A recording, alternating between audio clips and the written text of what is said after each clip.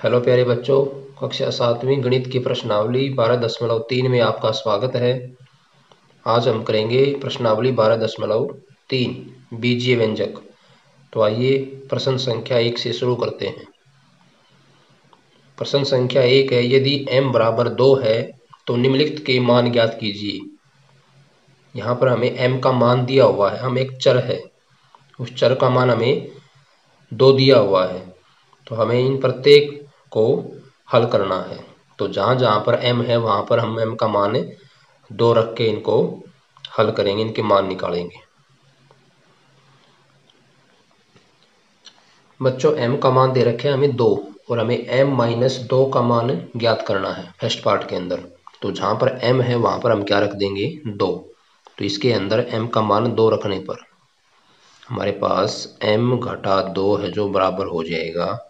दो घटा दो। जहाँ पर m था, वहाँ पर हमने क्या रख दिया? दो। दो घटा दो बराबर ज़ीरो। तो m घटा दो का मान हो जाएगा ज़ीरो। सेकंड पार्ट है, तीन m घटा पाँच। यहाँ पर भी हम m की जगह दो रखेंगे तो तीन गुणा एम गुणा दो घटा पाँच। तीन गुणा दो छः घटा पाँच बराबर एक। थर्ड पार्ट है। नौ घटा पाँच एम नौ घटा पाँच एम की जगह रखेंगे हम? दो। नौ घटा पाँच गुना दो, दस। नौ में से गया दस घटा का एक बचेगा। चौथा पार्ट है। तीन एम की दो घटा दो एम घटा सात। तो जहाँ पर एम है, वहाँ पर रखेंगे हम दो। एम का वर्ग यानी दो का वर्ग घटा दो गुणा एम दो घटा सात। तीन गुणा दो का वर्ग दो गुणा दो, चार।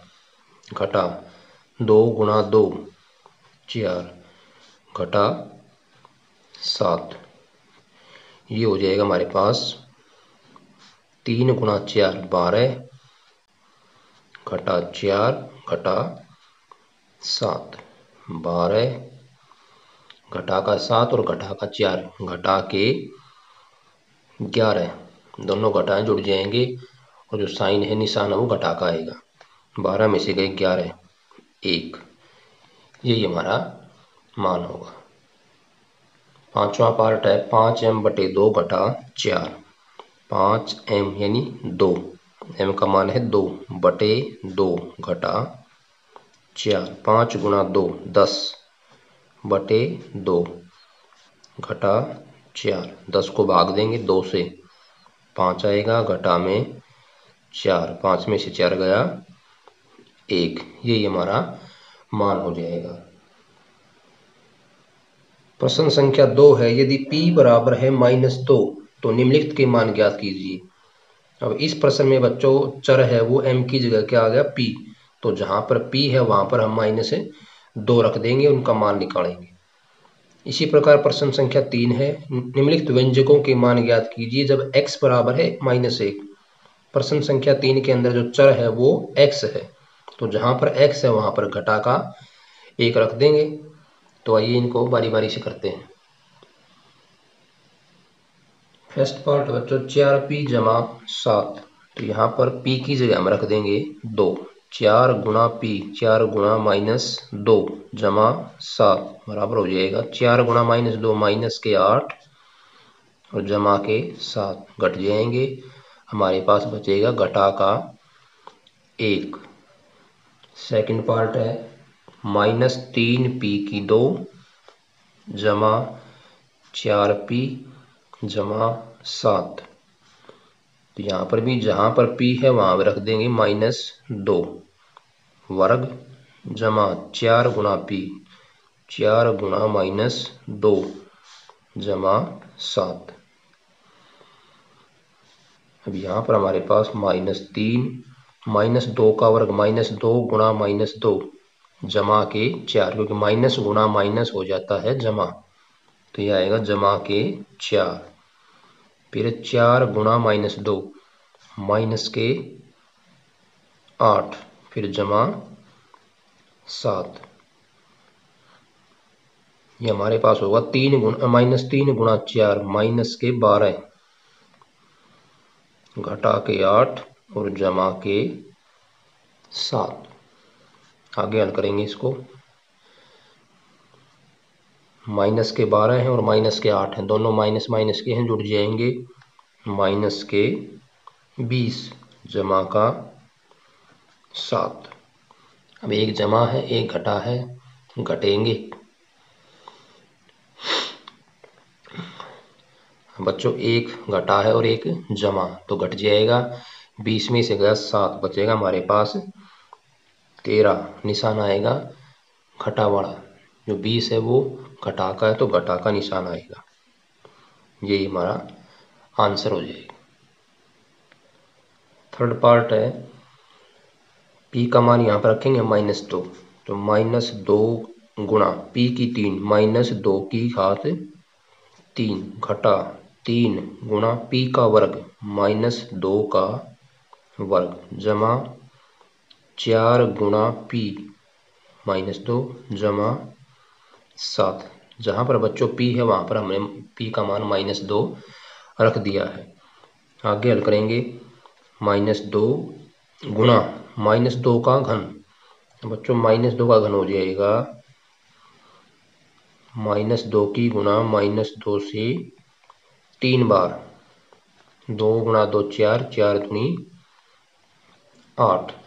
अब निशान आएगा घटा का क्योंकि मैंने बताया था कि अगर घटा के ऊपर जो घात है, वो है विषम संख्या तो निशान आएगा घटा का और घटा के ऊपर जो घात है, वो है सम संख्या दो, चार छः तो निशान आएगा जमा का। तो ये आ जाएगा हमारे पास घटा का आठ। घटा तीन माइनस दो का वर्ग। दो का वर्ग होता है चार। और माइनस के ऊपर है घात सम संख्या तो जमा हो जाएगा। जमा का चार। फिर चार गुणा माइनस दो, माइनस आठ, जमा सात। आगे हल करेंगे इसको। माइनस दो गुणा माइनस आठ, माइनस गुणा माइनस प्लस सोलह। फिर है तीन गुणा चार, माइनस के बारह। फिर है घटा के आठ जमा के सात आगे हल करेंगे इसको। सोलह जमा का, सात जमा का, तेईस जमा के। घटा का बारह, घटा का आठ तो घटा के बीस, तेईस घटा बीस, तीन। यही हमारा मान हो जाएगा।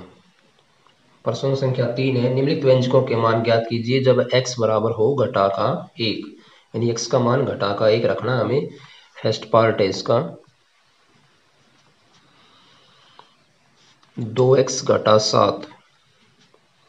तो जहाँ पर x है, वहाँ पर रख देंगे घटा का एक। दो गुणा घटा का एक।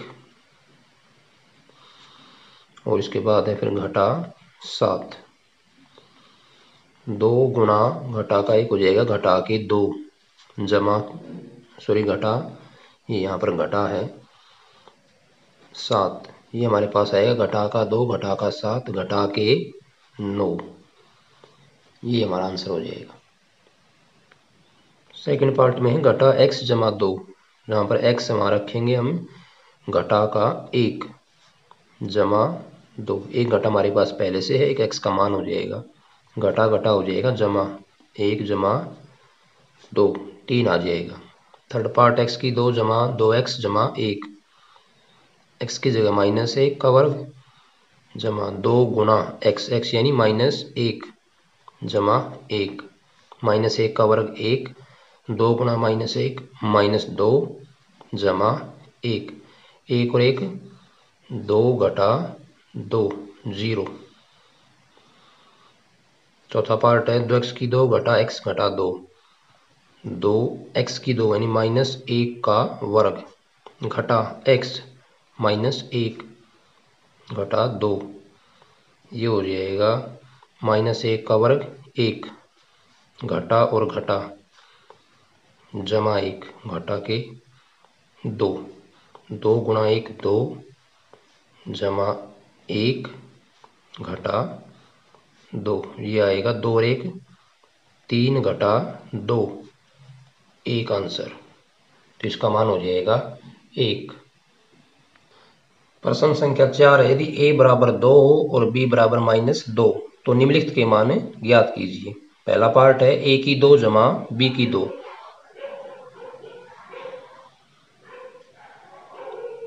प्रश्न संख्या चार है, यदि a बराबर दो बी बराबर माइनस दो हो तो निम्नलिखित के मान ज्ञात कीजिए। यहाँ पर हमें तीन पार्ट दिए हुए हैं। इनके अंदर हमें a का मान लेना है दो और b का मान माइनस दो। दोनों चरों का मान रख इनको। हल करना है। पहला पार्ट है, ए की दो जमा b की दो। ए का मान रखेंगे दो दो का वर्ग जमा। बी का वर्ग बी है, माइनस दो का वर्ग। जहाँ पर ए था, वहाँ दो रख दिया। बी था, वहाँ पर है, माइनस दो। दो का वर्ग दो, चार जमा। अब ये माइनस दो का वर्ग भी क्या होगा? जमा के चार, क्योंकि माइनस के ऊपर घात है, वो सम संख्या है। तो ये आएगा आठ। सेकंड पार्ट है, ए स्क्वेयर जमा ए बी जमा बी स्क्वेयर। तो दो का वर्ग, दो का स्क्वेयर जमा ए बी। ए है दो और बी है माइनस दो। जमा बी का वर्ग माइनस दो का वर्ग। दो का वर्ग चार, दो गुणा माइनस दो, माइनस चार, जमा माइनस दो का वर्ग जमा के चार। चार घटा चार ज़ीरो, ये आ जाएगा चार।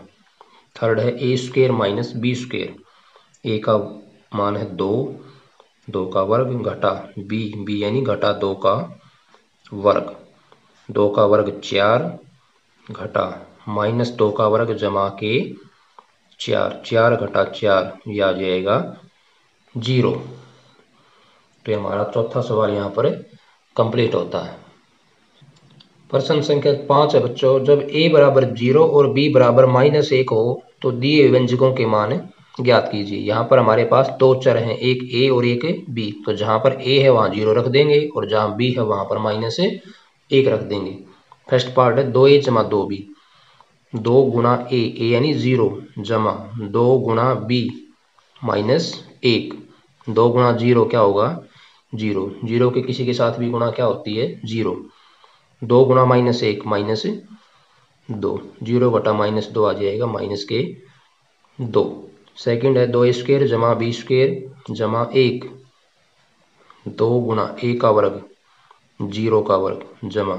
बी का वर्ग यानी माइनस एक का वर्ग, जमा एक। बच्चों, ज़ीरो का वर्ग करो, ज़ीरो का घन करो, ज़ीरो ही आएगा। तो दो गुणा ज़ीरो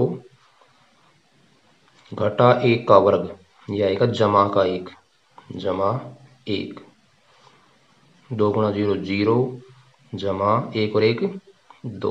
तो ये आ जाएगा आपके पास दो। थर्ड है, दो स्क्वेयर बी जमा, दो ए बी स्क्वेयर जमा ए बी मान रखेंगे, दो गुणा ए स्क्वेयर ज़ीरो का स्क्वेयर गुणा बी माइनस एक, जमा। दो गुणा ए ए यानी ज़ीरो, गुणा बी का वर्ग माइनस एक का वर्ग, जमा ए बी ज़ीरो गुणा माइनस एक। ज़ीरो का वर्ग ज़ीरो। ये हो जाएगा दो गुणा ज़ीरो ज़ीरो। दो गुणा ज़ीरो गुणा माइनस एक, क्योंकि ज़ीरो के साथ कितनी भी गुणा करो, ज़ीरो ही आएगा। तो ज़ीरो गुणा दो, ज़ीरो गुणा माइनस दो, ज़ीरो आएगा। फिर दो गुणा ज़ीरो गुणा माइनस एक का वर्ग, ये भी ज़ीरो आएगा, क्योंकि साथ में क्या है, तीनों में ज़ीरो है। फिर ज़ीरो घटा माइनस एक, ये भी ज़ीरो आएगा। तीनों ही तीनों हमारे पास क्या हो जाएँगे, ज़ीरो। चौथा है ए स्क्वेयर जमा ए बी जमा दो। ए यानी ज़ीरो का स्क्वेयर या वर्ग जमा ए बी ज़ीरो गुणा बी माइनस एक जमा है दो। ज़ीरो का वर्ग ज़ीरो ज़ीरो गुणा माइनस एक बी ज़ीरो जमा दो। ज़ीरो जमा ज़ीरो ज़ीरो जमा दो, यानी ये आ जाएगा हमारे पास दो। ज़ीरो की गुणा किसी के साथ भी क्या हो जाएगा? ज़ीरो